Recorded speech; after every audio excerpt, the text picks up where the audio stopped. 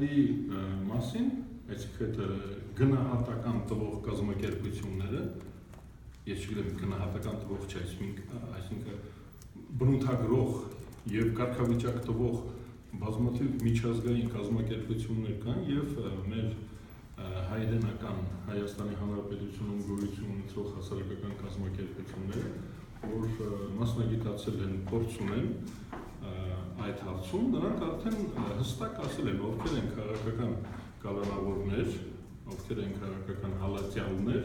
եւ ովքեր ոչ։ Այսինքն այստեղ միանշանակ է։ Մենք գիտենք նրանց գնահատականով կարելի է կողմնորոշվել։ Ես անձամբ կողմնորոշվում եմ նրանց գնահատականով, իմ անձնականը կամ շահագրգիռ կողմերի հայտարարությունները իգիտություն, այսինքն